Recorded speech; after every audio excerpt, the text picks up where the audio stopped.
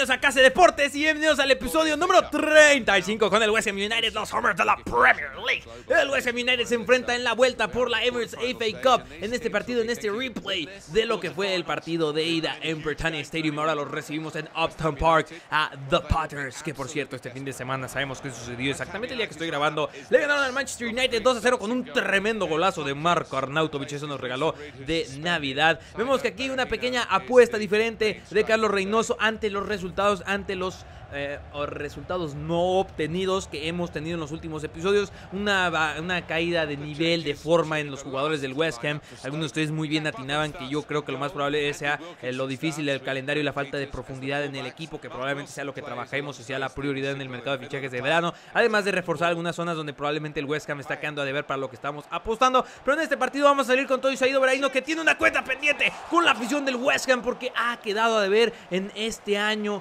en lo que es el 2017. Ya estamos en el 2017, increíble, ¿no? Ya dos años de Carlos Reynoso al mando del West Ham. Casi dos años, pues, casi dos años. Y ahora el West Ham viene, sigue en ataque. Y vean otra vez Poyet, los hilos del medio campo. Qué tremendo mediocampista. Y vean el pase que le ponen aquí a Brandon Barker. Brandon Barker contra Shakiri. Es derribado. Esto debe ser penal. Casi penales. Regresa. ¿Qué estás haciendo, árbitro? Veamos la reiteración y el reglamento. Si esto fuera un hombro con hombro, perfecto, no me quejo. Pero aquí, ¿dónde está? ¿A poco tiene el hombro en la espalda baja? Brandon Barker. Y aparte, no, esto es un penal clarísimo. ¿Qué le está sucediendo acá? Hace penales es que FIFA me está traicionando. No entiendo qué sucede. Sherdan Shakiri con el balón exactamente del lado contrario de donde sucedió esta acción. El remate de Boyan Krikic. El rebote le cae a Boyan. Y el gol del ex hombre del Barcelona, el ex hombre de la Roma. Un gol fortuito para el Stoke City después de que el arbitraje juegue un rol fundamental en este partido. Boyan aprovecha el rebote, se, se encontró con un camarada español y un gol en la Emirates FA Cup para Bojan. Nos vamos a la siguiente jugada. Vemos que el West Ham, eso sí, está peleando con todo. Tendrán un bajón de nivel. El calendario no será el más sencillo, pero el West Ham no dejará de luchar y Matt Jarvis lo demuestra en esa jugada. Ahora es Dimitri Poyet con Saido Veraino, Harrison Reed. Harrison Reed prepara el cañón, remata, punta en fuego, pero Jack Butland demostrando sus habilidades y lo buen portero que es. Este para mí es el futuro de la portería. No digo que sea el mejor promesa, el mejor arquero del mundo en algún tiempo reciente. Tyler Blackett remataba, pero sí estoy seguro que será de los mejores y inclusive ya podría entrar fácilmente en el top 15 de los mejores arqueros actualmente. Adam Armstrong con el remate increíble, no sé esta temporada y Saido Veraino le aplaude a su compañero el West Ham, no se quiere morir aún. El remate le cae a Diego Poyet, casi es derribado otra vez por la espalda, pero el árbitro dice que no. Adam Armstrong encuentra a Diego Poyet que hace las fintas y entra al área. Ya está en la cocina, es derribado dentro de ella y ahora sí penal. Gracias, árbitro, que te costaba hacer bien tu trabajo. Gol del West. No, no es gol, penal del West Ham. Pero cuando tenemos a todos los jugadores bien entrenados, como le gusta a Carlos Reynoso poner el cobro de los penales, como Diego Poyet, que así lo cobra. Un tremendo fusil, una bala de Diego Poyet y gol. Dice, vamos rápido que tenemos que anotar de inmediato. Pero el partido se va a tener que ir a tiempo extra. No sucedió nada muy interesante en el tiempo extra. Así que nos vamos a ir directos a la tanda de los penales en la FA Cup. El que falle se va, hace sus maletas y se despide de la competición más antigua en el planeta es Dimitri Payet el primer encargado. Este es especialista. Es ex Olympique de Marsella contra Jack Botland. El remate de. No lo puedo creer. Ibrahim Afelay, el ex hombre del Barcelona, a cobrar. Green, Green, Green, que también es especialista y se lanza al lado equivocado. Saido Veraino, que la mitad de sus goles prácticamente esta temporada ha sido de penal. Le dice a Payet, así se cobran, hermano. Así se cobra un penal. Ahora le toca a Sidwell. Vemos que está muerto Sidwell. Steve Sidwell contra Rob Green. Se frena, remata. Muy bien cobrado. Inatajable ese penal. Y ahora le toca a Alexander Butner. Vamos, Butner, demuestra de lo que estás hecho. Un fusil, un misil dirigido a las redes. El público celebra. Green intenta distraer a Steven Ireland. Stephen Ireland contra Green. Muy bien cobrado. Están cobrándolo muy bien los hombres del Stoke City. Le, le, toca a Adam Armstrong, el que está cedido del Newcastle con opción de compra, que ha tenido una temporada fenomenal. El remate. No, no, no, no, no, no. El West Ham al borde de la, la eliminación. Eric Peters a decretar el final. Que por cierto, firmó una renovación de contrato en la realidad. Peters contra Green. Green contra Peters. No. El West Ham United está eliminado de la FA Cup. El West Ham United se muere en la raya. Es eliminado en su casa por el Stoke City en un partido donde hubo polémica arbitral, donde hubo muchas acciones de peligro, pero el público se va contento y aplaudiéndolo a, su equipo porque a pesar de los malos resultados recientemente han dado la cara como verdaderos guerreros, como verdaderos jugadores de fútbol el deporte que todos amamos y lo amamos aún más si eso es posible cuando ves a un equipo como el West Ham entregándolo todo en la cancha por el amor mismo que le tienen al fútbol y porque saben que los aficionados presentes en el partido o viéndolo desde la tele le tienen el mismo o más amor que ellos. Ahora nos enfrentamos al Everton, a los Toffees de la Premier League en uno de los míticos estadios de la Premier League este es Goodison Park y ahí vemos los que nos van a presentar los Toffees en este que será un tremendo partido. Somos de los mejores equipos defensivos, pero tenemos que convertir esa defensiva en ofensiva. El gran problema de Reynoso dirigiendo a este West Ham.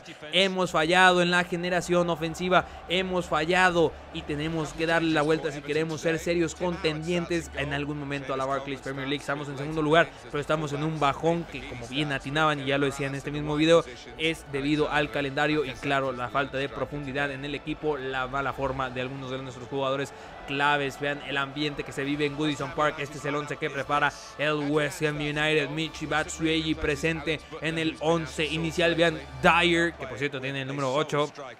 Eh, no sé, no creo que hay un pequeño error, seguramente lo cambiaré porque ese, ese número estaba ocupado por Choiku Kuyate. Vamos a enfrentar, es de la cantera por cierto. Manu Lanzini remata, pero en el fondo Tim Howard. Manu Lanzini que es de esos hombres que se quiere echar el equipo al hombro y con su habilidad y aparte su liderazgo quiere llevar de la mano al West Ham a la senda del triunfo nuevamente. Al ataque el West Ham, Correntinto listo con Manu Lanzini. Manu Lanzini entre dos defensas. Manu Lanzini les dice adiós el remate. Es muy bien bloqueado por Cleverly, el ex Manchester United, que por cierto, exactamente hace unos horas, unos minutos, con su gol el West Ham, el West Ham, el Everton le ganó al Newcastle United. Qué tremendo partido hasta el final. Y ahora Manu Lanzini a cobrar el tiro de esquina. ¿A quién le cae? El remate es de Mark Noble, pero en el fondo Tim Howard. Qué tremendo arquero es el estadounidense. En contraataque Aaron Creswell. El balón llega a los pies de Manu Lanzini. Muy activo en este partido que va a ser Lanzini. Remata. Vean a John Stones arriesgando el penal, inclusive el físico. Manu Lanzini con el tiro de esquina. ¿Quién remata? Es Mark Bartra, pero es Funes Mori más bien el balón le cae a Mark Noble que de taquito la intenta, pero Tim Howard con la pierna. ¿Qué está sucediendo en este partido? El balón no quiere entrar. Aaron Creswell controlando el balón. Llega a los pies de Michi Batshuayi, el ex Olympique de Marsella, que lo está haciendo fenomenal en la realidad. Ahora, ¿qué va a hacer Batshuayi? Encuentra ahí a Manu Lanzini que le pedía el balón. El remate de Lanzini. Pasa centímetros de la meta de Howard. El Everton está teniendo muchísima suerte. Esto era al final del partido. Este era el gol del triunfo. Tim Howard se viene para la fotografía. Manu Lanzini no se cansó de intentar, de intentar. El West Ham se quiere morir otra vez en la raya. Quieren ganar a como dé lugar. El balón llega a los pies de Torren Hazard. El balón iba para Michi Batshuayi. Si ese balón pasaba, si ese balón pasaba. 0 a 0. Seguimos sin ganar, seguimos sin ganar. ¿Qué está sucediendo? Es un momento complicado. Se nos está yendo la Premier League de las manos como si fuera arena. Increíble lo que está sucediendo en esta historia. Carlos Reynoso tiene que hacer algo para levantar el equipo y llega una oportunidad. A pesar de ser una de las complicaciones del calendario, nos vamos a enfrentar en la Europa League. Uno de los equipos que recomendé en un video de mis recomendaciones para equipos para tu modo carrera. Kling, Kling, eh, guiño, guiño. Vayan a verlo si no lo han visto. Que por cierto, ayer ya debería, si me conozco, ya debería haber subido el video de recomendaciones de Barclays Premier League. Y si no, pueden decir en los comentarios, Carlos, eres un tonto, no lo has hecho, qué flojo eres. No, no es que sea flojo, leal y youtuberos, pero no sé si lo vaya a tener listo. Ya está listo para ser renderizado, pero le falta hay un pequeño trabajo que está realizando el equipo de Case Deportes detrás de escenas. Es algo muy sencillo, pero deberá faltar solo para hacer la renderización. Y vemos que estamos en la Europa League, como bien señalaban. El Arsenal había avanzado yo diciendo que ya estamos condenados todos los equipos de Inglaterra en la Europa League, pero no, no era cierto, me equivoqué. Mis ojos de mapache me fallaron una vez más. Pero vemos que ahora es una combinación del cuadro A y el cuadro B atendiendo a esta necesidad del descanso de la rotación, que por cierto con la eliminación de la, de la FA Cup Eso nos va a ayudar un poco, ciertamente, pero eso no evita que sigamos disputando partidos los jueves, algo que es muy complicado para todos los equipos alrededor de Europa, porque de inmediato tendrías partido el sábado o el domingo, a veces de, atrás a lunes, pero aún así es muy poco el periodo de tiempo. Al abordaje, el West Ham United que tiene que ganar, tiene una cita pendiente con la afición. El balón llega a los pies de Manu Lanzini que vuelve a probar, pero Esteban en el fondo. Lo de Manu Lanzini, al menos sabemos que Manu Lanzini se está involucrando en los partidos, que es mejor que cuando los, cuando los jugadores desaparecen en los partidos importantes o en los momentos importantes como es este momento de desesperación en el West Ham, que ahora Mark Barton intentaba con el remate de cabeza. Muy bueno lo que está haciendo este joven ex Barcelona. A mí me gusta muchísimo este central y aquí en West Ham lo está haciendo de maravilla con Winston Reed, que por cierto otro de los análisis muy atinados era la juventud, el inexperticio de la defensa, porque sí tenemos a Winston Reed, pero es el más veterano, hay que tener algo más ahí. Y vean aquí este balón como llega Correntín Tolizó, adiós escondiendo el balón, adiós a la barrida, Correntín Tolizó continúa, gol de Correntín Tolizó, ya hacía falta y el ex Olympique de Lyon Qué tremendo jugador es este muchacho, qué futuro tienes por delante. Y Carlos Reynoso te va a llevar de la mano a que lo consigas. Y vean la explosión de alegría de los jugadores, de la afición. Un gol que necesitábamos, un gol que rompe la tensión que se vivía en Upton Park. Y el golazo es un verdadero fusil, misil atómico, como ustedes quieran decirle, Cogentin Tulizó. Gol en la Europa League, su primer gol en esta competición europea. Al ataque, el West Seminario, el balón llega a los pies de Diego Poyet. ¿Qué va a hacer Diego Poyet? Evita la barrida, el balón ha Saido Veraino. Manu Lanzini casi es derribado en el área, pero dice, ojo con esta jugada.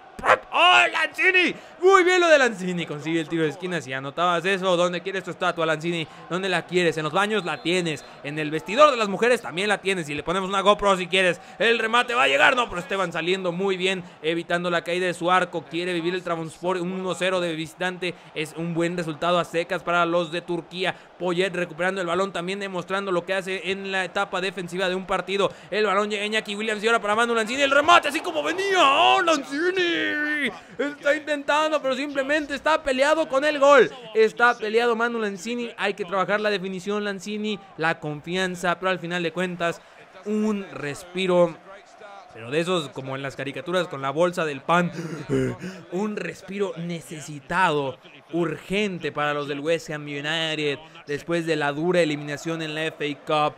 Sí, este año ganamos la Capital One Cup. Algunos se les podrá olvidar eso. Ya en la segunda temporada con Carlos Reynoso, ya hay un trofeo nuevamente en las vitrinas del West Ham y reciente. Pero siendo eliminados del FA Cup, ahí podemos tomarlo como un fracaso con la promesa del equipo que se tenía. Pero este, esta recta final de la temporada ha evidenciado las falencias. Eh, las falencias está bien dicho. Bueno, ha evidenciado las fallas. Voy a tener que investigar eso en el diccionario a ver si no dije una estupidez. Hay que analizar todo lo que está sucediendo con estas evidencias claras de la falta de profundidad del equipo y algunos jugadores que han quedado a deber. Todo eso lo analizaremos en el último video de la temporada. Van a ser los premios Hammer of the Year. Yo les compartiré las... Em, hay las nominaciones y ustedes van a votar por los jugadores que deberían ganar y también se hace un análisis previo a la tercera temporada donde veremos qué zonas habría que reforzar, reforzar con jugadores, posibles salidas de algunos jugadores, posibles llegadas, eh, subir a equipos de la cantera. Uno de ustedes hacía una propuesta que yo ya había dicho en algunos de los videos que el equipo número C yo sé que el número C está mal dicho, recuerden, es un chiste malo de los de que se viven aquí en Casa Deportes. El equipo número C debería ser conformado principalmente por equipos, por jugadores de la cantera y eso es totalmente de acuerdo, estoy totalmente de acuerdo y es lo que se tiene planeado, por ejemplo ahí estaría Jordan Thompson, el mismo Donnell Henry, eh, Will Dyer, que ya lo veían por ahí, hay jugadores como Oscar Borg, Will Noyle y algunos otros que tenemos en la cantera y les mostraré en su momento, así luce la tabla después de la seguidilla de malos resultados, ya estamos en la tercera posición, no podemos permitirnos salir de los puestos de UEFA Champions League y a menos a tres puntos de quedar campeones de la Premier League, Saido Veraino ya se quedó atorado en tres goles. No entiendo qué le está sucediendo. Ha perdido el puesto titular y tendrá que luchar si quiere recuperarlo, sobre todo haciendo apariciones en la Europa League, porque Michi Batshuayi se encargará de la titularidad en la Barclays Premier League, a menos que suceda una lesión que sería desastroso, porque solo tenemos a esos dos delanteros. Adam Armstrong puede ser habilitado en esa posición, pero no me ha gustado cómo lo ha hecho de enganche. También eso lo podremos discutir al final de la temporada o conforme vayan avanzando los episodios, como le he dicho antes, pueden decir, no, mejor prueba Adam Armstrong de delantero. Lele, youtuberos, eso es todo por este video. Muchas gracias. Ya saben qué hacer. Si les gustó, los likes siempre son bien recibidos y los comentarios intentan ser contestados. No olviden seguirme en mis redes sociales, en Twitter y en Facebook para estar enterados de toda la actividad del canal y poder contactarme de forma más directa. No olviden comer frutas y verduras y ahí nos vemos.